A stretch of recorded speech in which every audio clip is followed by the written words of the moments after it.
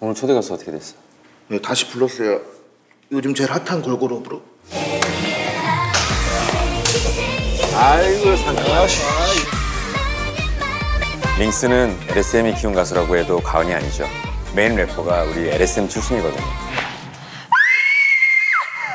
내 손으로 키운 가수가 이렇게 왕성한 활동을 하는 모습을 볼 때면 밥을 안 먹어도 배가 부릅니다. 다미한테 LSM 얘기 많이 들었어요. 소속사를 잘 만나야 된다고. 이제라도 탈출해서 정말 다행인 것 같아요. 그래도 아직 연기는 포기하지 않았어요.